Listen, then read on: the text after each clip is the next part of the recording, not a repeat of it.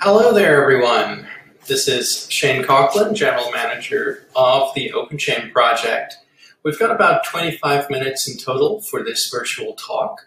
I'd like to make sure that everyone feels comfortable with uh, sending in comments and questions throughout the talk, and there'll also be a little bit of time afterwards. Big shout out to Steve uh, Wally for telling me to break a leg.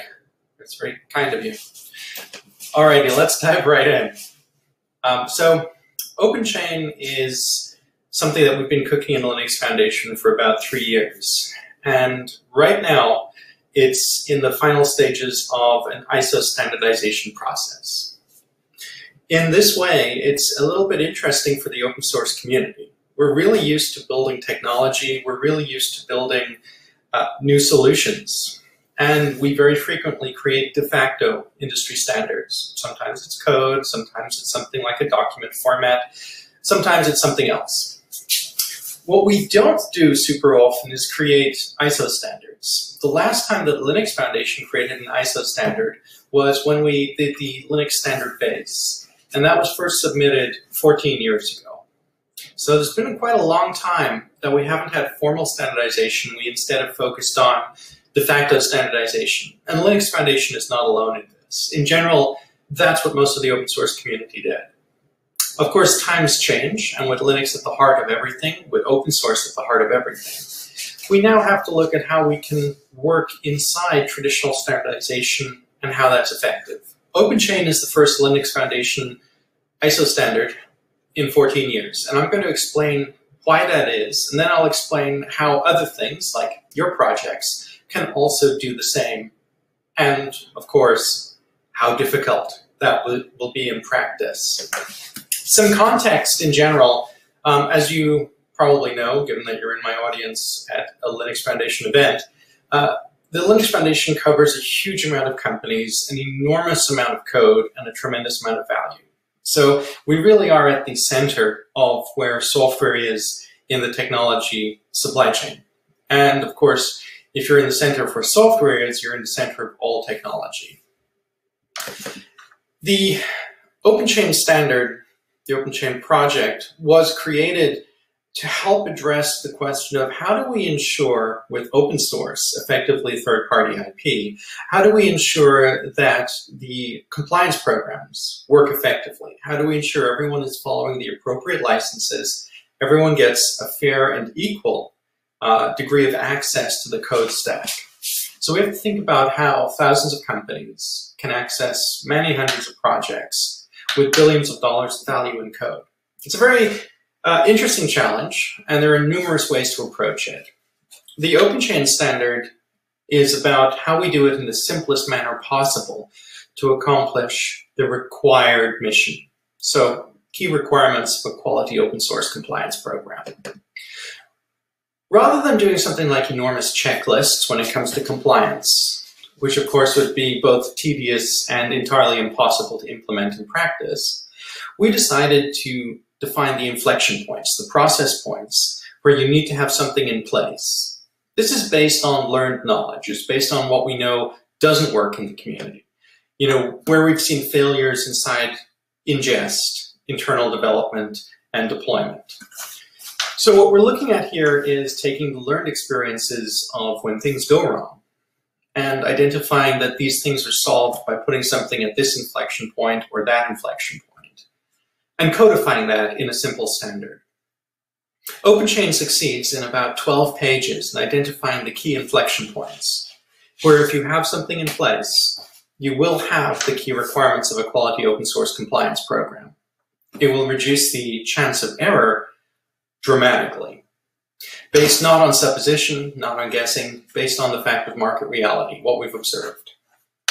The idea of OpenChain is that company by company, as people adopt this compliance standard, there will be a chain of companies which have the key requirements of a quality open source compliance program. And therefore, inside that chain of companies, the level of trust is much higher. We know that each company is doing what's effective and what's needed to make sure that the open source licenses are correctly applied, and to make sure that if something goes wrong, remediation is quick and effective. Nice, simple concept, and the idea is Ultimately, that if companies are open chain conformant to a version of the standard, they can quickly display what version they're conformant to, and their suppliers or customers can understand exactly how that company is contextualizing and filling out process points for open source compliance. This streamlines a lot of stuff. It means you can ask your supplier very quickly, okay, so you're open chain conformant. Uh, that means that you have internal training on open source uh, for the people who make decisions around open source. Show me the training slides. Or you can ask something along the lines of, you're open chain conformant. Uh, that means you have a company-wide open source policy. Let me see the policy. This allows companies to kick the tires on each other, make sure everything is where they want it to be, and where it isn't, they can say, okay, so I saw your training slides. They're, uh, they're okay, but they're not exactly what we'd like to see. So here's an example from our training slides. Uh, we'd like to see you adopting something like this. And those conversations lead to very productive solutions around open source compliance. We're not going to dig too long into this, uh, but we are just going to pass through some of the key points about how big OpenChain is. So the OpenChain mailing list, uh, we've been active about three years. We've got over 3,700 participants on the mailing list from hundreds of companies. Uh, we have over 100 active contributors on GitHub. We've got automotive work groups on a global scale, reference tooling on a global scale. Both of those are, you know, north of 100 participants, somewhere in the region of 80, 90, 100 companies in each work group. We have regional activities in China, Japan, Korea, uh, Taiwan, India, and Germany. Uh, these work groups meet to talk through how open source applies to them. In some areas, it's heavy in one industry. For example, in Germany, it's heavy on automotive.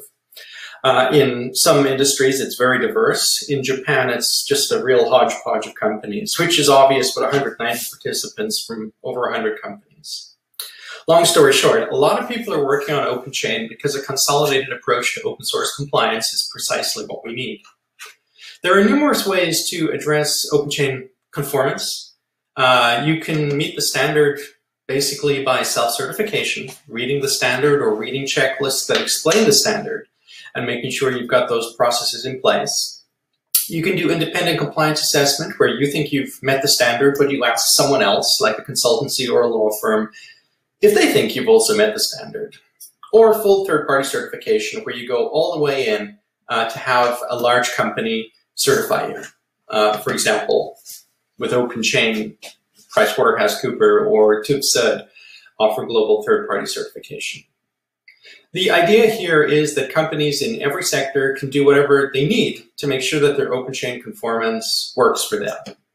And quite frankly, the heart of open chain, and one of the reasons that it's a really cool open source standard, is that we have a lot of emphasis on self-certification. And we have an online self-certification, a print version of the self-certification, where people just get yes, no questions. And if they can answer yes to every question, they are open chain conformant. Nice, simple, elegant. And in practice, we found that works really well. One thing that came up early was people said, hey, if people can self-certify, uh, won't everyone lie? and um, that has not been the case.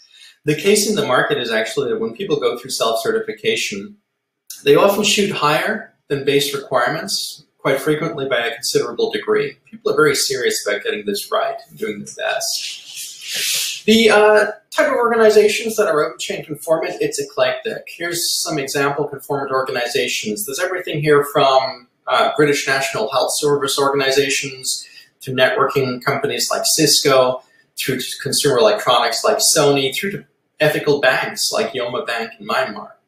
It's a very diverse crowd because open source is everywhere everyone has to address open source compliance, and everyone finds it easier to do so through a predictable, unified global standard. All right. So we got a de facto standard. How do we take it to the next level? Obviously, formal standard. De facto standards work fantastic uh, in practical market deployment, and certainly around open source, around software, definitely. But of course, when you're looking at massive global adoption. When you're looking at how do we talk to people who aren't part of the open source community but use open source, how do we help them get compliant? And the answer is you use the mechanisms that these organizations are already familiar with. People who utilize open source but are part of the community, aren't really part of software community, are probably going to be dealing with standards in whatever they are focused on, whether it's banking or defense or whatever. They're used to standards. And absolutely everyone is used to ISO standards. So we said, let's, let's really amp this up from an audience of thousands of companies to tens of thousands of companies, become an ISO standard. This has some advantages. Uh, for instance, when you talk with procurement or salespeople, when you talk with process workflow people who are just not technical, not familiar with any of this, they'll all understand an ISO standard number. And they'll understand, oh, this fits into our portfolio. It's alongside functional safety, export control, whatever. It's just another ISO standard for when we talk with our suppliers. Or if we're a sales department, when we talk with our customers. Nice, simple, elegant. How do you do that? I mean, how do you go from a de facto standard into a formal standard? How do you actually create an ISO standard? And there's a lot of different answers to that. Of course there are. It's, a, it's an old, complex field. One way is you can go country by country drafting. Uh, you can go through the national bodies and spend about 50 plus months. Uh, that takes a lot of resources, a lot of time. And you know that in open source, the idea of spending 50 months standardizing something is daunting because you're looking back and it's like, wow, that's more than four years. Uh, a lot has changed. So one of the other ways you can do standardization is to go through various fast tracks to say, hey, this is a de facto standard, it's deployed, it's useful. It should be a formal standard. Um, how do we convert? And again, numerous answers. Uh, what we did what we did is we went through something called a pass process in JTC1. So uh, JTC1 is Joint Technical Committee 1. It's uh, an important part of the ISO standardization regime. And we decided to go through their process for saying this is an existing de facto standard, let's convert it into an ISO standard. And that allows you to do it in a much shorter time scale, less than a year. In fact, we submitted in the uh, earlier part of this year, and we expect to be an ISO standard in Q3. The balloting around OpenChain, the voting around OpenChain, uh, will conclude on the 22nd of September. So we found a way to work inside the existing ISO standardization process that provided the timescales and the flexibility to convert de facto standards into ISO standards quickly and effectively. How? Uh, yeah, surprisingly easy and surprisingly cheap. As it turned out, we didn't need specialized knowledge or tens of thousands or hundreds of thousands of dollars to do this. We worked with a pre-existing organization, Joint Development Foundation, which entered the Linux Foundation community uh, last year and formally announced their active services with LF and standards about four weeks ago. The Joint Development Foundation is essentially a project which helps open source projects and standardization come together. So they provide the umbrella that deals with all of the corporate legal infrastructure to do standardization. And that means a project like OpenChain can go to JDF and say, hey, we've got this pre-baked standard. It's been in market three years. We're on revision 2.0. That's been out since April 2019. We haven't had you know, drafting comments, large-scale suggestions for change. We're just seeing increased market adoption. So this standard is baked. It's ready. How do we go through ISO? And uh, they provided a tremendously useful path to do that. I'm going to dig into this briefly now. The overview is simple, and the secret sauce, the sausage making, mostly you don't need to worry about the details, they do the heavy lifting. But in a nutshell, when you're standardizing, you do this. You've got your idea. Uh, in the case of OpenChain, we had the idea, let's define the key, the key requirements of a quality open source compliance program. Um, and then initially our idea was, let's make that checklist. And then we thought that's useless. We throw that out. Um, and let's define the process inflection points. So we did that. Uh, we drafted the process inflection points. Um, and we said that works well. We deployed the draft to market in our case. Um, and we saw really good reaction. We saw some great feedback from 1.0, we iterated quickly 1.1, 1.2 based on market feedback. Then it went stable. People were using it a lot. We just refined the language a little for translation purposes 2.0, and the standard was ready. And at that point, we took the standard JDF and they said, okay, you've got your standard. Um, it's drafted, it's complete, it's in market. Now we need an ISO draft. So in OpenChain, we hired an ISO editor. His name is Rex. He was awesome. I can send your uh, connection points to him, give him details. Um, and, and, Rex took our standard, uh, 12 pages long, and he reformatted it slightly uh, to make sure it fit the ISO format and ISO norms. He didn't change a, a single requirement. He didn't change any of the nuances on the standard. He just made sure that it was suitable for the ISO process. And then, of course, we submitted it. Technically, we submitted it through the ISO IEC JTC1 uh, transposition process. But for us, what we did is we gave it to Joint Development Foundation and they did the magic in the background. What this means is when you have an open standard based on an open project, it could define code, it could define something like us where we're talking about processes, it just doesn't matter. You could take that pre-existing standard, get an ISO draft of that standard uh, in collaboration with JDF, and put that through the process of ISO. And, you know, Nine months later or so, you end up with an ISO standard. That process in itself, you know, I say, oh, it's easy, you just do that. Um, OpenChain was the learning curve on this, okay? So it wasn't as easy for us as it will be for you. Because since we did it, since we created the setup of OpenChain, we drafted our de facto standard by setting up our committees, uh, making our records, making our submissions and all of that. Since we've done that over the last three years, other smart people have been busy working on the idea of a spec in a box. How do you create a spec using, let's say, GitHub? And they, they build it. There's a thing called Community Specification 1.0. It had a soft launch 25 days ago. Um, and basically, you fork this GitHub repo and it contains all the documents and approaches and whatnot you need to create a spec that can easily go into something like ISO. So it describes how you set up the regulation, how you set up the committees. Uh, nothing onerous here. I mean, it's not even that difficult. But it's, it's a structure. It provides a structure for you to do that. And uh, you can literally just fork this GitHub repo, work through the documents, adjust the documents in your fork to fit what you're doing, and hand over to JDF. That's really cool. Now, uh, when it comes to open standards like ours, there's a few important points, okay? So OpenChain is run by user companies for user companies. Our mission is crystal clear. Uh, we are the companies with the challenges in compliance, fixing the challenges in compliance. There's no deviation, no confusion, no ambiguity. So you should do the same. I mean, you should clearly know what your project goals are before you make an international standard. Fact is, OpenChain, once it's an ISO standard in September, of course, we'll draft future versions of OpenChain, but the thing that goes live in September will be the thing that is in market for who knows how long, five years, 10 years, more. So you need to know exactly what you're trying to accomplish, and what we did. You need to make sure that people coming into your community can address what you're up to. So we created tons of reference material, multi-languages, case studies, reference processes, reference workflows, reference training slides to make sure that when people arrived, understood our mission, and then said, that's great, but how do I do it?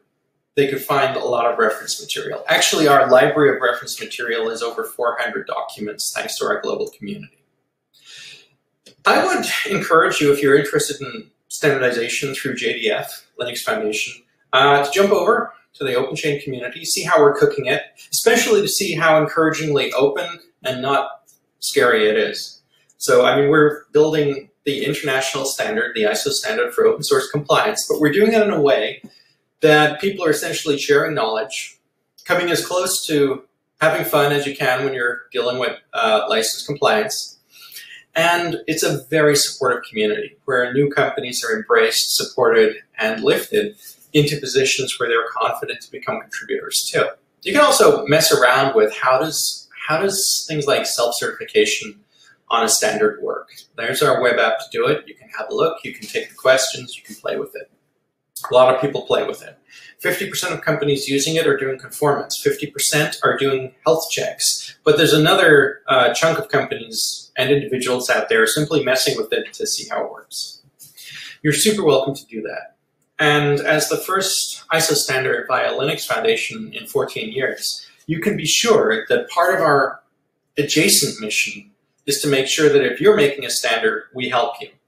Now, we're not going to be alone for long uh, at the opening keynote of this event, Jim just announced that SPDX, our software bill of materials standard, will be the second ISO standard going through JDF for Linux Foundation. So, you know, we'll have a couple of months where we're the golden child, and then SPDX will be the second one through. Their community will be perfectly poised to help you as well. And over time, more Linux Foundation projects will have ISO standards. If you want to make an ISO standard, contact JDF. Uh, the guy running the standardization side, Seth Newberry, is just awesome. He'll be very glad to help you. Uh, you can get support there. You can talk about things like the uh, community specification, where you can use GitHub to make a standard to convert your existing workflow into something for an ISO standard, the whole deal. It's all there. That's what they do. They just help you. And in a nutshell, that's it. Linux Foundation, open source, in general, the whole global set of foundations and communities, we can now take our de facto standards and really easily convert them into ISO standards. Of course, we don't want to rethread areas where people already have really cool international standards. No one needs that. But when we have new stuff, when we're filling in the gaps, we have an excellent mechanism to do it effectively, quickly, and without much specialized knowledge or investment. In fact, just to put a dollar sign on it, I paid Rex, I think about $4,000 for the conversion, the support, the back and forth. And that was it. That's how much it cost us to make an international standard, apart from some you know, time resources on our end. It's really doable.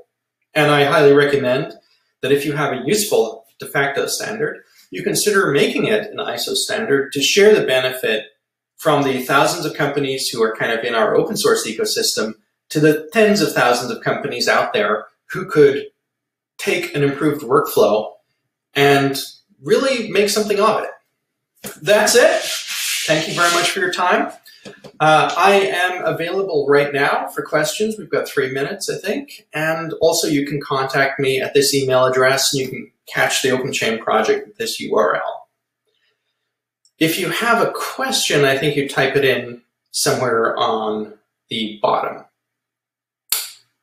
And while we're just pending there, in case there's a question or two, uh, at this event, this virtual event, we have an OpenChain mini summit tomorrow. It happens at around this time tomorrow. Everyone's welcome to dial in. We'll be talking through the OpenChain standard. We'll be talking through some regional things like what's happening in Europe, what's happening in Asia, why is it happening.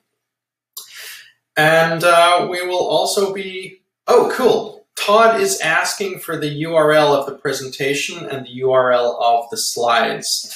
Um, Todd, I will be making these available on the OpenChain project website. Uh, so in about 30 minutes, if you go to openchainproject.org, you will find these slides.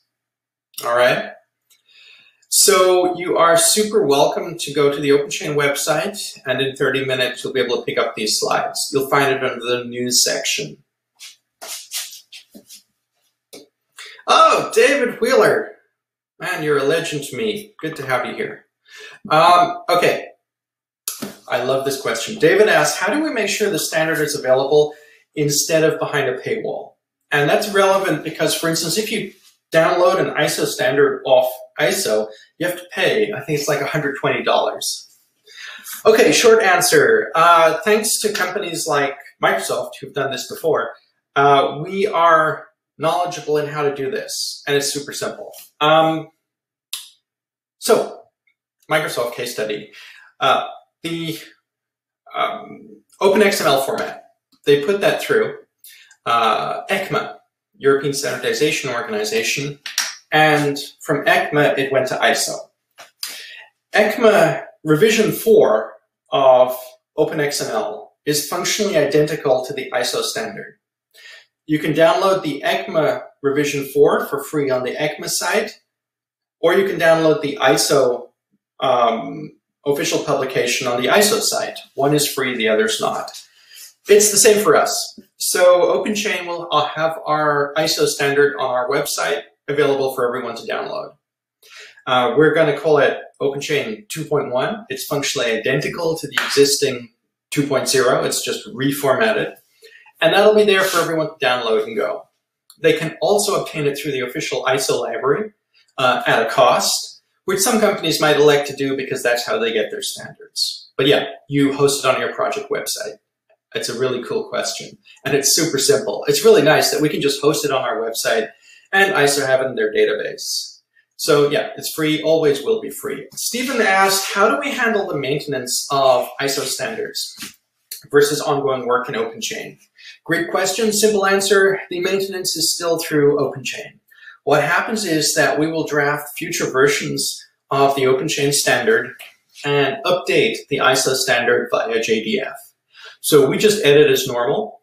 And when we call time and say this is a new version of OpenChain, we put that through JDF and they update our ISO standard. Here's what happens with an ISO standard. You have the ISO number, let's say, I'll just steal functional safety, ISO 26262, colon, year. So let's say that we are ISO 1234, uh, when we first release this ISO 1234, it'll be ISO 1234 colon 2020. We do a revision of the standard, it's ISO 1234 colon 2023. And, and that's how we do the updates. And that's how you always know which one is current. We'll make sure to have a map on the website so it's super, super clear. Alrighty. Uh, yeah, so you control the standard, you keep it on your website, you update it at your pace, and essentially ISO is the repository, the canonical place where people can check the ISO standard uh, data. Stephen asks, does it require a JTC1 pass vote each time? Uh, my understanding is that we have to go through an update process instead of the full transposition process. So my current understanding is, uh, no, it's not a, a, ballot to see if it can be a standard again. It's more of an update process, so it's uh, easier.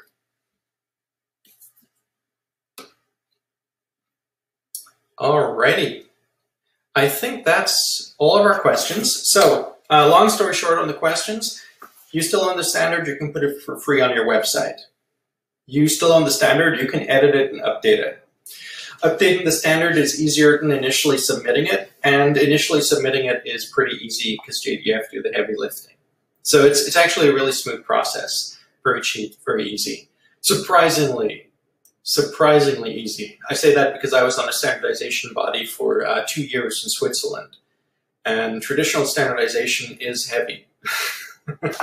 All right, thank you so much, everyone. Uh, Todd, website 30 minutes, you'll have the slides. David, thank you for the excellent question about availability. Stephen, thank you for the question about maintenance. And for everyone else, thank you for being here. Uh, I think we're wrapping up now. Uh, and we have to hand over to the magic staff, I guess, for turning this off. Okay. So Jennifer sent me a Linux Foundation side. Um, there is a Slack workspace for this track. So you can kind of jump into the community, um, tech community leadership uh, track on our Slack for this event, and that's for the conversation. Also keep going if you so wish. All right. Thank you very much indeed. Take care, everyone, and talk to you soon.